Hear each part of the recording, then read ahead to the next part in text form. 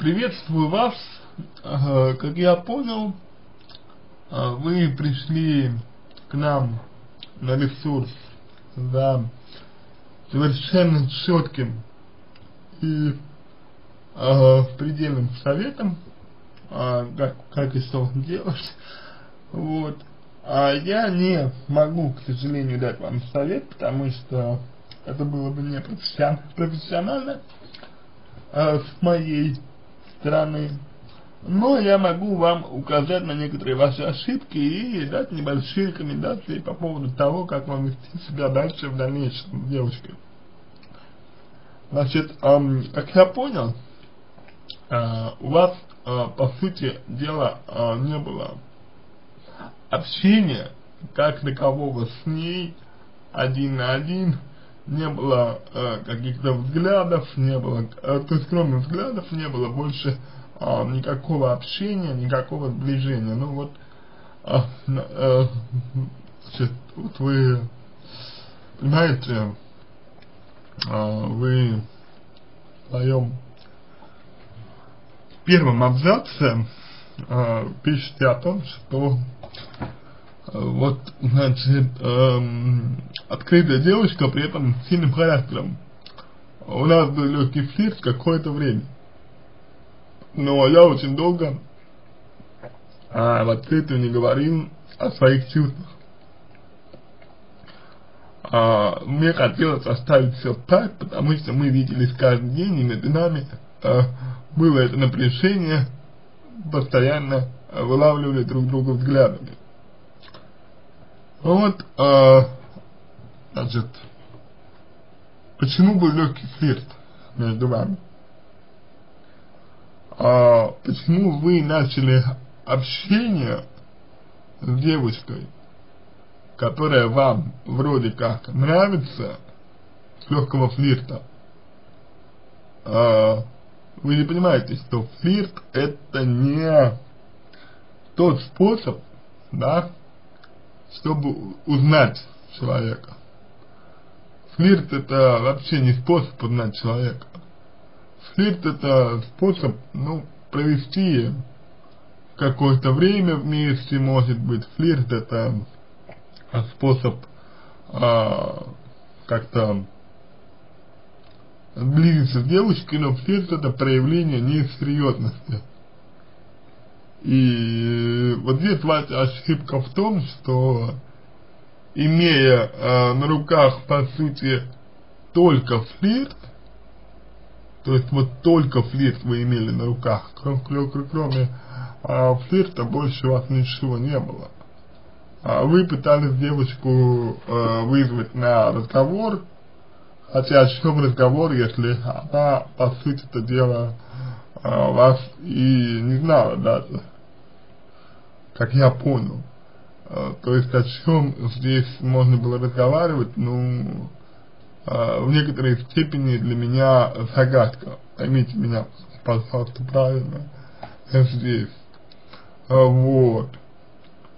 Значит, у вас нет с ней ничего общего. Как я понял, у вас вот очень мало с ней было общего что-то, и отсюда э, возникли э, проблемы, потому что вы посчитали, что вы можете с девочкой уже сближаться, а ей явно легкий флирт был, ну, просто начал, просто трамплином. Она ждала от вас, что вы ее куда-то пригласите, она ждала от вас э, ухаживания, она ждала от вас какого-то общения, она ждала от вас э, какого-то сближения, а вы ей, э, получается, по сути дела, этого сближения как бы вроде бы и не дали. И вот это на самом деле-то основная э, ваша ошибка, которую вы совершили. А, по моему, моему мнению здесь.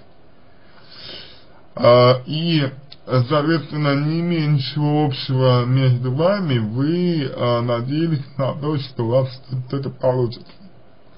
Ну вот, собственно, э, это первое. А, теперь, если мы а, с вами а, говорим о том, что вам делать, и если мы с вами говорим о том, как вам себя вести дальше, то постарайтесь все-таки извлечь определенные выводы из того, что вот с вами произошло. И если вам девушка нравится, если вы хотите быть с ней, то соответственно приложите усилия для того, чтобы между вами появилось что-то общее. Не обращайте внимания на этих молодых людей, которые рядом с ней. Все эти люди, в принципе, приходящие. Они есть, их нет, это не особо важно. Важно другое, что а, вы, вы направляете свою, свою энергию на то, чтобы с девушкой общаться просто на отвлеченные темы, как друзья. Узнать, какие у нее интересы, что ей нравится, что ее увлекает, что ее интересует. Вот. Э, завести нормальный такой с ней дружеский диалог, дружеский контакт, Э, чтобы она, грубо говоря, не боялась с вами общаться. Потому что вот пока, как я увидел, она, к сожалению, именно боится с вами общаться. Она знает, что вы э, можете ее начать там опять, например, целовать, да, и так далее. Вот. И вот, вот данный аспект как раз таки вам и нужно полностью из восприятия девушки вас исключить. Потому что если она будет думать, что вы интересуетесь ею только, только в контексте, вот именно, а, только в контексте, например, секса, только в контексте каких-то поцелуев и так далее, то она, э, естественно, будет вам давать от, отворот-поворот, потому что, ну, не считает вас э, каким-либо достойным э, мужчиной, а главное, серьезным мужчиной. То есть вот именно серьез, ваша серьезность здесь эм, под большим вопросом вам нужно как раз таки показать ей, что вы очень серьезно настроены. Но что значит очень серьезно настроен? Не по отношению к, к ней. Сейчас этого показывать не нужно, что вы серьезно настроены по отношению к ней. Вам нужно сейчас показать, что вы интересуетесь, ну вот не только сексом, что вы интересуетесь вот не только а, ее как ее а, внешним видом, то вы не, не интересуетесь не только ею, а показать нужно, что вы интересуетесь а, ею как человеком, понимаете, как личностью. И вот это свою очередь и даст вам тот результат, который вы хотите. То есть ситуацию не испортит. Поэтому сейчас, на, на данный момент, вам нужно действительно немножечко повременить, то есть вообще не проявлять себя никак.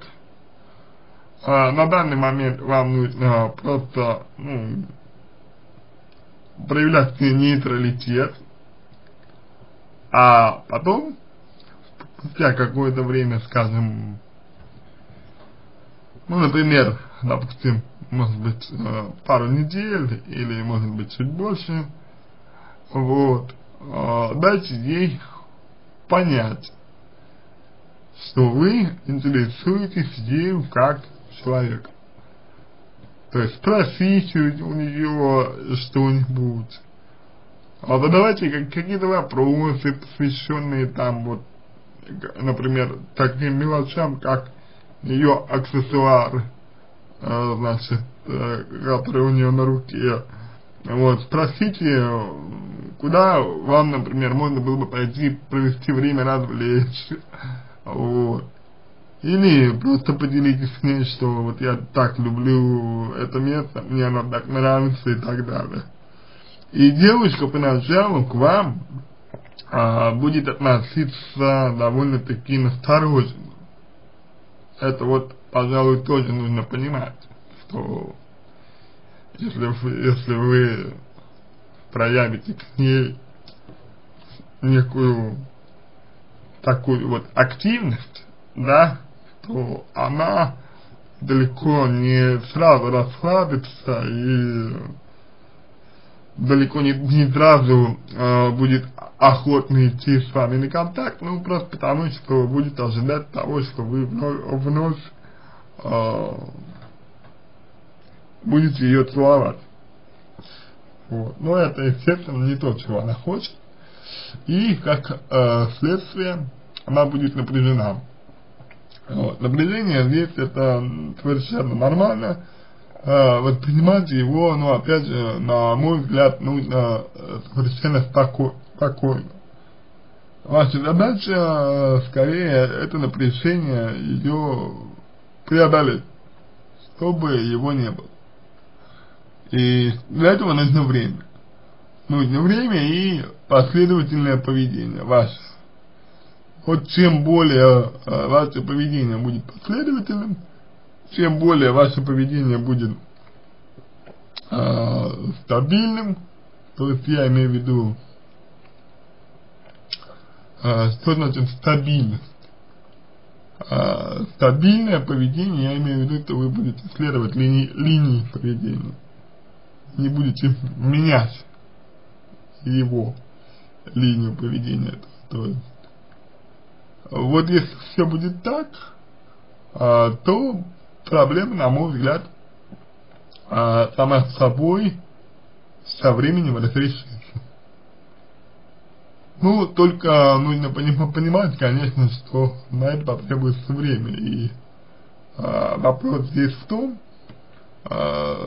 сколько вы готовы ждать. И вообще чего ждать. То есть я понимаю, что вы, вы молодой человек, что, в общем-то, вам хочется, чтобы у вас была девушка, вам хочется, наверное, и секса, и так далее. Вот.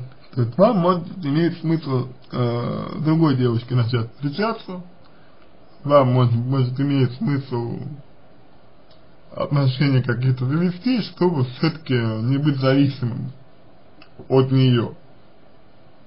Чтобы менее, меньше именно вот э, значимости э, ей придавать. Это вот э, было бы весьма грамотно с вашей стороны такая вот линия поведения, направленная именно на вот это. Ну и, пожалуй, эм, последнее, что я хотел бы вам сказать, это то, что э, менталитет ан англичан, э, как я понял, вы в Англии э, живете, так вот менталитет англичан это не то же самое, да, а, что менталитет русских, например. То есть, если вы, допустим, э, с русской девушкой вот так вот э, приглядываетесь, ну, значит, скорее всего, действительно есть какая-то симпатия у нее к вам. А англичане, как и любые европейцы, но они немножко по-другому это все воспринимают, и, собственно, для них это может ничего не значить. То есть вы все-таки постараетесь как-то вот культуру, э, которой вы живете, культуру, культуру людей, среди которых вы живете, постарайтесь как-то изучить, чтобы лучше понять менталитет этих людей и чтобы не совершать вот таких ошибок, чтобы не обманывать, чтобы не попадать вот так, э, в такие ситуации не очень хорошие для вас. На этом все. Надеюсь, что помог вам. Если какие-то дополнительные вопросы остались, пишите в личку. Я вам помогу. Если вам понравился мой ответ, буду благодарен, если сделаете его лучшим. Желаю вам всего самого доброго, удачи и успешного разрешения данной ситуации.